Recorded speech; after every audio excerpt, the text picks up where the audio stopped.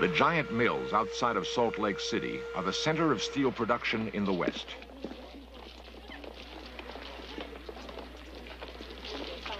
My name is Pat Roach, and I work at the steel company in Orem. I'm a millwright apprentice. I should be a journeyman in another year or two. Pat is one of 5,000 employees at the steelworks. When she completes her training as a millwright apprentice, she will be the only woman licensed to make repairs on the heavy machinery.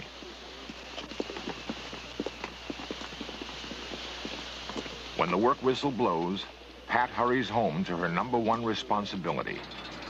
She is the sole support of five young children.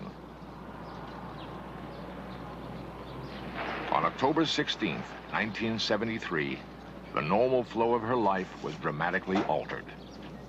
Pat recreates the events for In Search of. It was about 8 o'clock in the evening.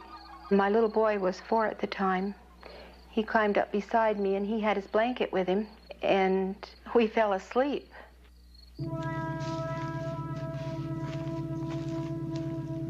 Sometime between 8 and midnight, something invaded the privacy of Pat's home. Her children normally alert to strange sounds in the night, slept on, as if put in a deep trance. They would later believe that they were abducted during their sleep.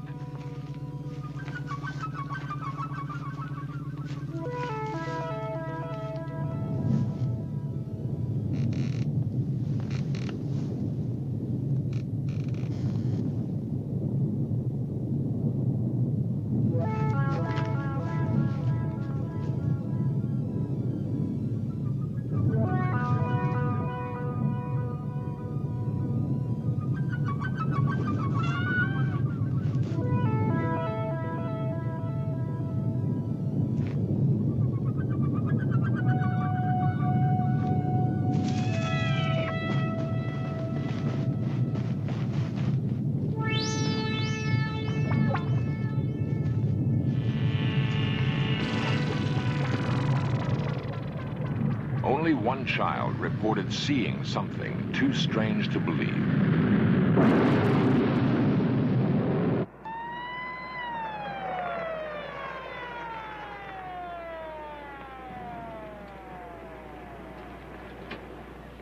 Police Sergeant Ray Edwards answered Pat's call for help. He investigated the area, but could find no evidence of an attempted break-in. Alpha Fox 372. The following morning, Edwards filed an official report, leaving the case open. He dismissed the claim of Pat's six-year-old Deborah, who insisted the house had been invaded by spacemen. Nevertheless, for the Roach family, an unsettling mystery still hung over their household and was to persist for the next two years.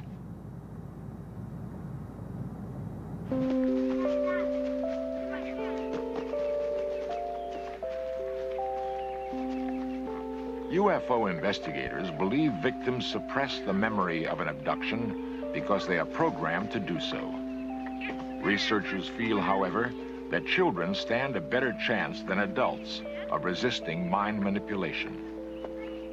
I wouldn't have actually known what happened that night. I probably wouldn't have even investigated it at all if it hadn't been for the fact that two of my children were just positive that they were spacemen.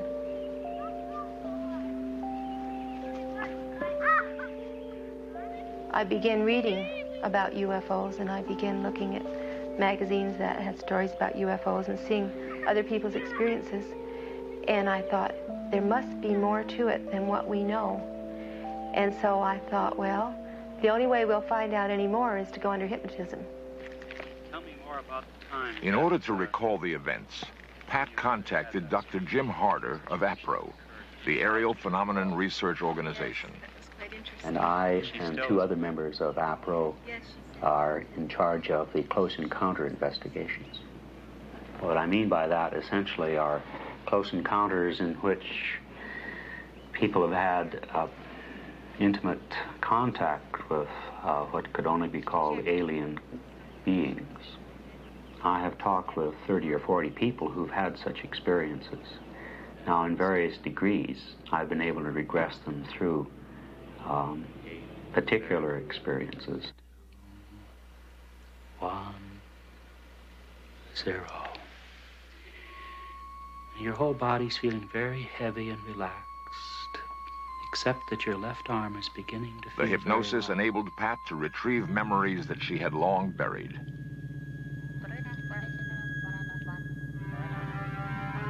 So I remember what the interior of the spaceship looked like.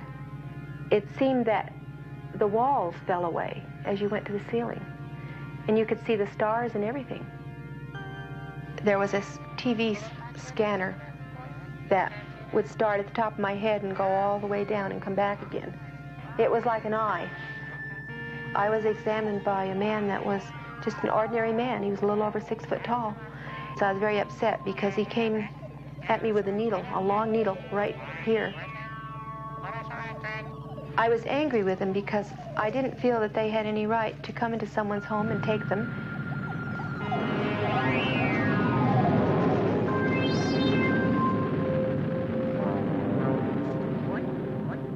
And what I was particularly upset with them about was that um, I didn't know where my children were. They know everything about us physically how to make us well, and everything about how our body operates. But they can't understand our um, emotions and our feelings and our idea, ideas about things. They don't understand us. I don't believe that um, they really want me to go on TV and um, tell my story because uh, if it's happened to other people, they might start putting the pieces together and realize that they've had the same experience.